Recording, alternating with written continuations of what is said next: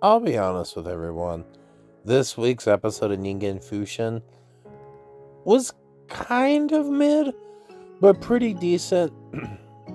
there was like a lot of like backstory and development, more or less, and then kind of like their personal like growth and facing your past is pretty much the premise I got from this episode, and it's gonna set up a pretty good episode for next week's episode.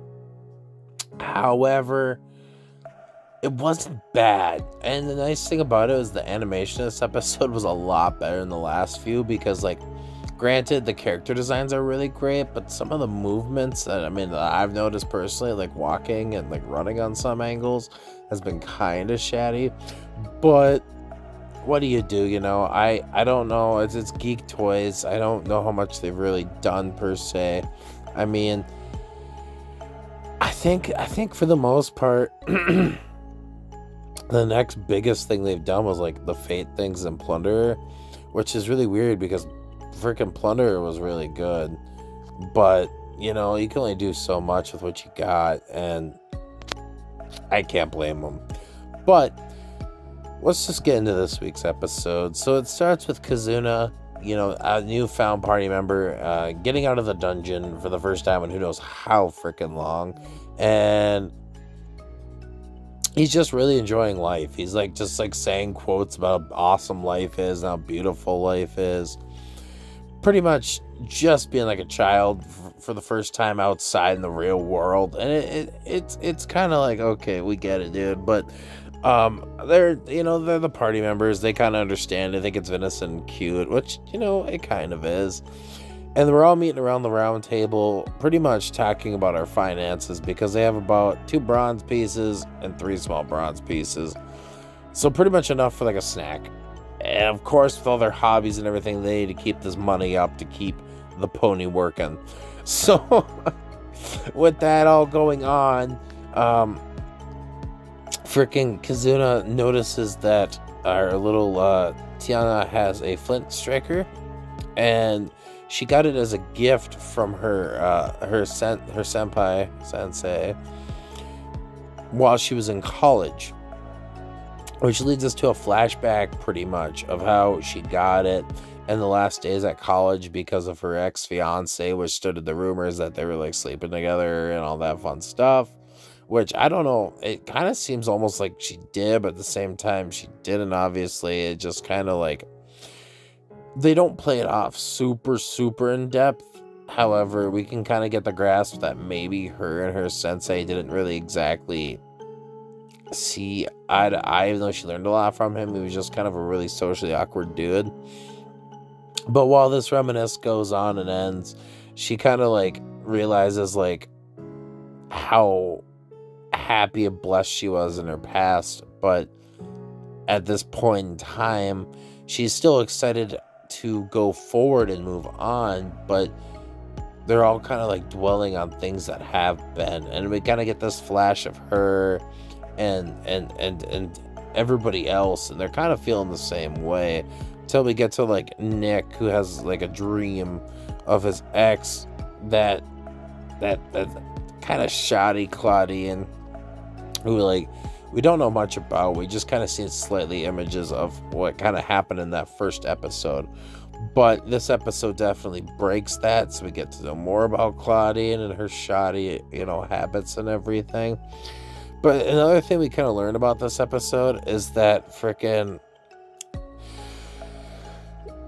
telepathy just telepathy. So Kazuna has this like ability to give everybody telepathy, and they have a stone with them as well, and they're like sneaking up onto this ogre that looks just like the one that they defeated before. And we come to find out when there's like a mana cloud that comes over every so often, they regenerate.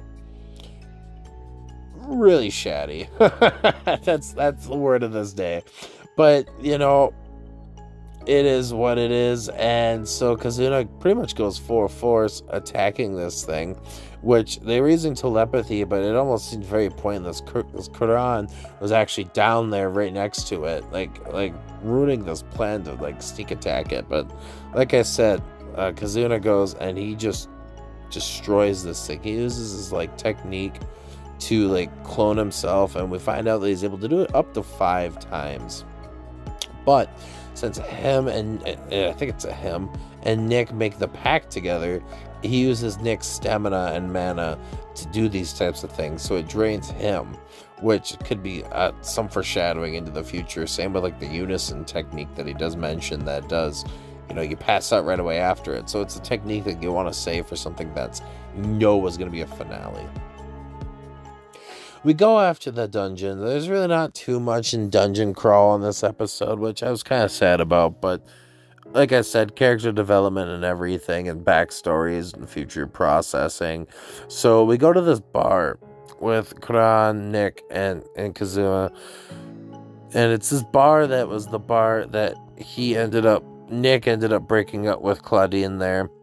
So he's a little nervous to go, and especially having that dream about Claudine earlier on. And they get their food, and it looks pretty good. And obviously, with with Kuran being such a food expert, it makes the most sense, obviously. But Nick overhears Claudine saying the exact same things that she said to Nick to this poor little boy who ends up giving her this like rare item worth of value and she's like giving this speech about how she's got to go check on her mom it's like a month away traveling by carriage and she's sick and so she's obviously conning people out of money. So Nick pretty much confronts her and, you know, calls her out in her bullshit. And when this happens, she's not the happiest person, but, you know, I think the boy in the long run gets happy about it because she finds out that she's just fronting his ass. So, in the long run, it worked out for everybody except Claudine because fuck Claudine. So the next day, we go to the, ta- the like a different tavern, and the whole the whole group's meeting together. And Claudine pours a whole beer on top of Nick's head, but Nick's just taking it because he knows exactly who it is. And they make fun of their guild name, and it's absolutely hilarious. I can't remember, it's something Tigers, but he calls it the Kitties, of course. And she's got another party member with her, and he's acting all tough and everything with it. So he asks Nick to go out back and talk to him like a fight. However, he pretty much, you know, like uh, tells Nick that he's like, good job, we're sick of her shit and all her fucking pawning, we just want her gone now. And he pretty much accuses Nick of stealing money from this whole party. And Nick's not going to stand for that, you know, because Nick's already gone through that kind of crap. So Nick pretty much calls him out on this bullshit and, and throws him to the ground in submission until um, one of his other party members, which was a spellcaster of some sort, shoots him with a wind ball and knocks him down in his face. And while he's down, you know, calling him out a two on one, Kuran comes and flips the sorcerer on his freaking face with her tail and throws him on the ground. And right before anything serious can happen, the guildmaster comes and like throws a pen right into Nick's face. And it was freaking hilarious because Nick's like, you know, gloating about how he's a good fighter and the other guy's shit and the guy says that he's good but he, he could still take a pen to the face like yeah you know sometimes shit happens. But then the guild master wasn't gonna like do anything about it. She just wanted him to do it fair and square like because obviously there's probably guild rules per se of how you can you know dissolve a type of fight between different um, groups and everything. And we come to find out that Tiger Boy knows what it's called. It's called the Mathematics Bare Knuckle Battle, which we didn't get to see this episode, but let me tell you, I'm actually pretty excited to see what a Mathematics Bare Knuckle Battle is. Uh, it's gonna be thrilling, and you know, like I said, there wasn't too much to like really discuss this episode. It was more like a process episode halfway through the season, but I enjoyed it. It was it was like I said, the anime wasn't as, as, as as it has been in the past. We didn't get too much out of it, but we got a decent episode, so I can't really gripe about it. Um, but that's pretty much all I have to say about this week. I said, there ain't much to say. We'll uh, we'll discuss more in, in the next video this week of uh, something I end up watching. Let's be honest here. So yeah, that's pretty much all I got. Um, if you enjoyed this video, please give it a like. And if not, thanks for staying this long. If you're feeling real curious, I would very much appreciate a sub. And uh, yes, that's pretty much all I got for today. This has been Squids, and I'll see y'all in the next video. Peace.